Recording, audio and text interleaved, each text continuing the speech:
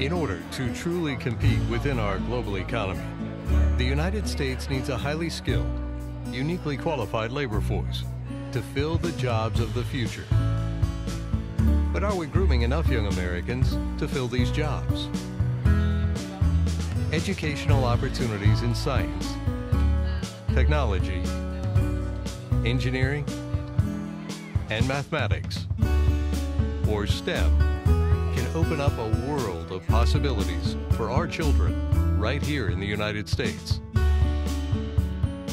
One man has set out to inspire the young people in his community to become the next makers, creators, innovators, and problem solvers of the world's toughest questions, while showing them and his hometown of New Orleans, Louisiana, a pathway out of their struggles.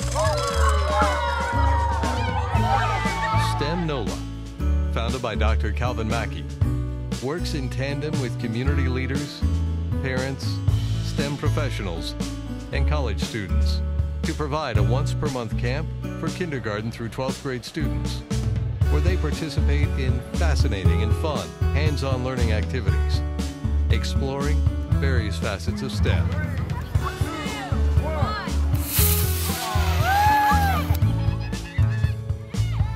By inspiring, engaging, and exposing these children to concepts, people, and career paths within STEM, the likelihood of them pursuing degrees in STEM fields increases exponentially, having the potential to not only change their own lives, but radically transform their families, community, our nation, and the world.